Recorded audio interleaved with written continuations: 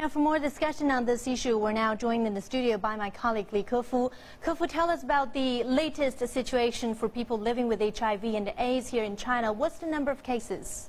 Hello there, Mao Mao. Well, as the most populous nation in the world, China is not yet near what many people would consider a widespread AIDS epidemic, but the infection rate has been rising sharply. According to the report on the situation of HIV/AIDS in China, which was jointly produced by China's Ministry of Health, the UN, and WHO, the actual number of people living with HIV/AIDS in China was estimated to be around 780,000 by the end of 2011. The total infection rate of this country stands at 0.058 percent.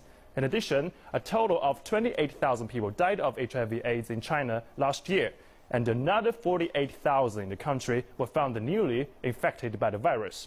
The HIV/AIDS situation is showing some new trends, though, as sexually transmitted cases continue to increase. Mama.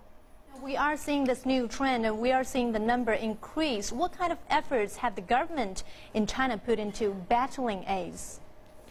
Well, in February 2012, China issues its AIDS action plan for the 12 five-year program period. It will further strengthen AIDS public education, testing, treatment and prevention, especially on the mother-to-child transmission of HIV. A report shows that more than 136,000 AIDS patients had received antivirus treatment as of September 2011. The treatment coverage rate is now 73.5 percent that's almost an uh, that's an increase of almost 12% compared to two years ago.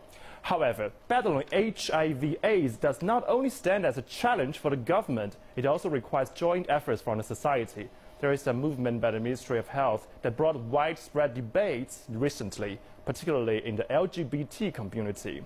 Lesbians will now be able to donate blood again for the first time in 14 years, but the ban on gay men donating continues.